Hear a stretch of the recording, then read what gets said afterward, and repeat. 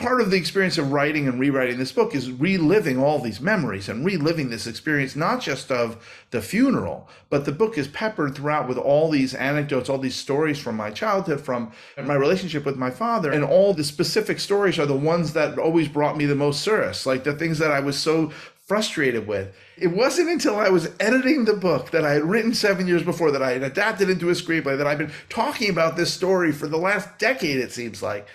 suddenly in this rewrite, I was like, oh, he was in such pain.